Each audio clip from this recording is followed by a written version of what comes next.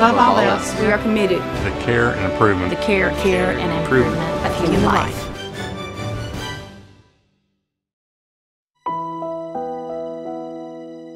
My name is Cathy Botts. I'm fitness director at Extreme Fitness for Women and Extreme Health Club. My life changed on January 7th. That day was a normal day, and I came in and was teaching a class on a Wednesday morning. And about 40 minutes into my class, um, I got a pain in the back of my head. Um, I barely, vaguely remember that pain being excruciating. And I do recall saying, Give me just a second. The next pain that I got took me to my face. Waking up at TriStar, my first thought was, How did I get here? I remember uh, the nurses being very, very uh, attentive. Um, I was very belligerent. I wanted to get up. That was my first thing. I, you know, I think they had to like strap me in the bed. And when I did try to get up uh, out of the bed, we realized that my right leg was numb from the knee down.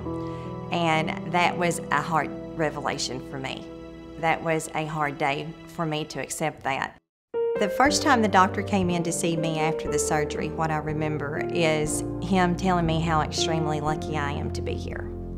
Uh, and two, that I shouldn't be here. The nurses were very comforting. They, um, you know, it's so embarrassing to go through what I went through. People are having to comb your hair, and people are putting lotion on you and giving you a bath, and um, those kind of things are. Um, those people are angels. From that first day that they allowed me to get out of the bed and um, onto a walker, I, I, had to be taught how to utilize that walker. As a marathon runner, as a fitness person for 27 years, it was quite um, a hard pill to swallow to all of a sudden be on a walker.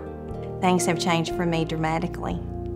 And I'm, I'm sad about that sometimes.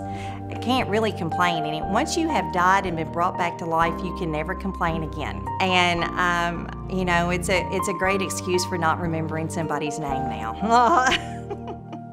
Skyline was an answer of prayer the day that my aneurysm hit me. And I look back at what they did for me, and they truly are uh, gifts. If I can share one thing, is how important their jobs are to make us feel like humans and not just a number. I never felt like a number while I was at Skyline.